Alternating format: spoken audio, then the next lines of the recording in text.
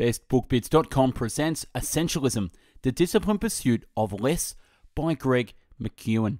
In Essentialism, Greg McKeown, CEO of a leadership and strategy agency in Silicon Valley, who has run courses at Apple, Google, and Facebook, shows you how to achieve what he calls the disciplined pursuit of less.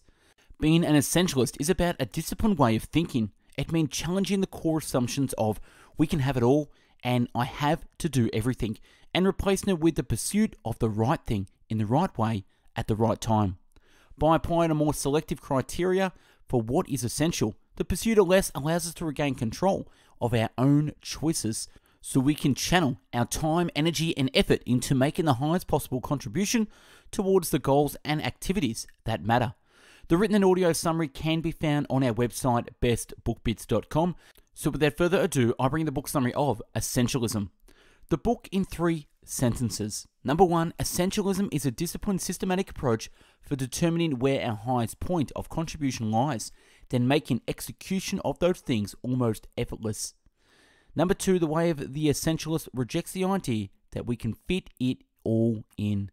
And number three, when faced with so many tasks and obligations that you can't figure out which to tackle first, stop, take a deep breath, get present in the moment, and ask yourself what is the most important this very second now?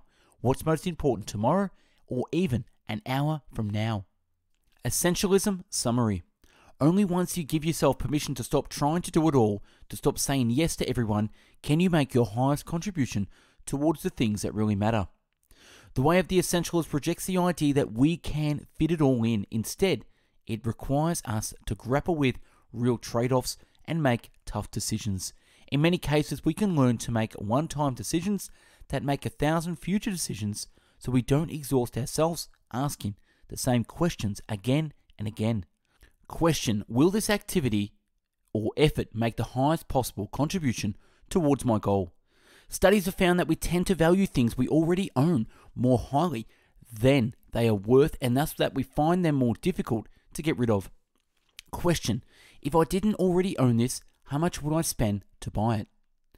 The three realities of the essentialist. Number one, individual choice. We can choose how to spend our energy and time. Number two, the prevalence of noise. Almost everything is noise. Very few things are exceptionally valuable. Number three, the reality of the trade offs. We can't have it all or do it all. We can ask three questions. Number one, what do I feel deeply inspired by? Number two, what am I particularly talented at? And number three, what meets a significant need in the world? Essentialists invest the time they have saved in creating a system for removing obstacles and making execution as easy as possible. Essentialism is not a way to do one more thing, it is a different way of doing everything. It is a way of thinking. There are three deeply entrenched assumptions we must conquer to live the way of the essentialist. I have to. It's all important, and I can do both. Like mythical sirens, these assumptions are as dangerous as they are seductive. They draw us in and drown us in shallow waters. To embrace the essence of essentialism requires we replace false assumptions with three core truths. I choose to. Only a few things really matter. And I can do anything, but not everything. These simple truths awaken us from our non essential stupor. They free us to pursue what really matters. They enable us to live at our highest level of contribution. Question If you could do only one thing with your life right now, what would you do? To become an essentialist requires a heightened awareness of our ability to choose. When we forget our ability to choose, we learn to be helpless. Drip by drip, we allow our power to be taken away until we end up becoming a function of other people's choices or even a function of our own past choices. Instead of asking, What do I have to give up on? essentialists ask, What do I want to go big on? What do I want to go big on? In your life, the killer question when deciding what activities to eliminate is if I didn't have this opportunity, what would I be willing to do to acquire it? And while conforming to what people in a group expect of us, what psychologists call normative conformity is no longer a matter of life and death. The desire is still deeply ingrained in us. Essentialists accept the reality that we can never fully anticipate or prepare for every scenario or eventuality. The future is simply too unpredictable. Instead, they build in buffers to reduce the friction caused by the unexpected.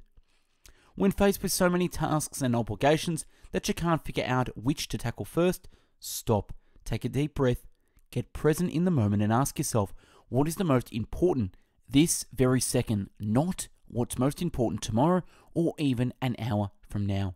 The iconoclastic entrepreneur and venture capitalist Peter Thiel took less but better to an unorthodox level when he insisted that PayPal employees select one single priority in their role and they focus on that exclusively. As PayPal executive Keith Rabois recalls, Peter required that everyone be tasked with exactly one priority. He would refuse to discuss virtually anything else with you except what was currently assigned as your number one initiative.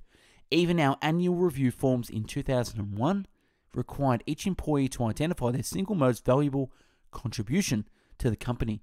The result was that employees were empowered to do anything within the confines of that clearly defined role that they felt would make the high level of contribution to the shared mission of the company. And last, distinguish the vital few from the trivial many. And that's a wrap on Essentialism. Subscribe to the channel and take a look at the hundreds of book summaries uploaded previously. To find hundreds of written summaries, check out our website, bestbookbits.com. And for hundreds of audio summaries, find us on mixcloud.com forward slash bestbookbits. If you want to help and be a contributor and get involved in the channel by reading a book, writing a summary, and emailing us at info at bestbookbits.com to have it featured.